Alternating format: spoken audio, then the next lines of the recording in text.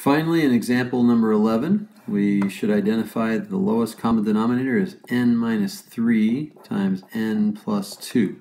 So we're going to rewrite the first fraction. We're going to leave a little space. We're going to be a, we're going to be strategic about this. And then we have a minus sign there. So this is this this type of problem tends to be the most challenging, but it it has all the same uh, all the same steps, same concepts as all the problems that we've done so far. We just have to check. Do we have the same denominator? No. What is the lowest common denominator? That denominator multiplied by that denominator.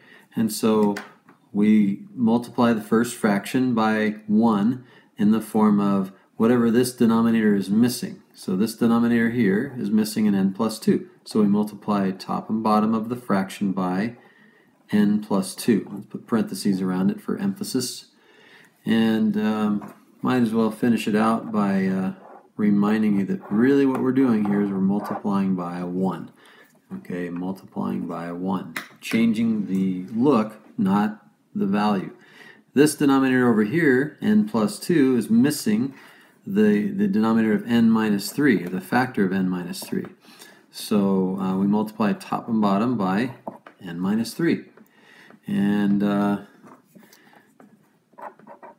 which means we're multiplying the second fraction by 1 as well. So maybe you're tired of seeing that, but hopefully it'll help you remember. So what we have here in the numerator, we multiply straight across. 2 multiplied by n plus 2. All over n minus 3 times n plus 2. Minus over here, over here we have 2 times the quantity, n minus 3.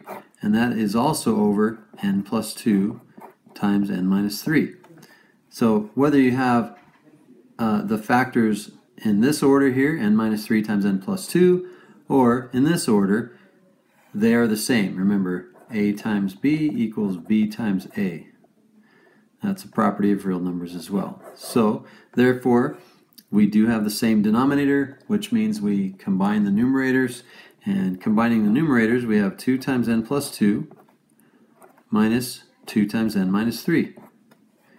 And that's all over n minus 3 times n plus 2.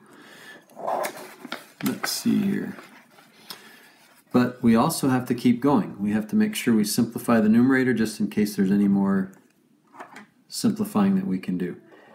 Now, we use the distributive property for both the first part of the numerator and the second part. And starting here, we have a 2 times n, which is 2n, plus 2 times 2, which is 4, minus, so we have a negative 2 times an n is a negative 2n, a negative 2 times a negative 3 is a positive 6. And then downstairs, we have an n minus 3. It looks like we're almost done multiplied by n plus 2. The 2n, combining like terms in the numerator, we have a 2n minus a 2n. Well, those are going to cancel each other out. And we have 4 plus 6, which is 10, all over the quantity n minus 3 times n plus 2. And we cannot cancel any more. Don't even think of canceling the 10 and the 2. And that is it.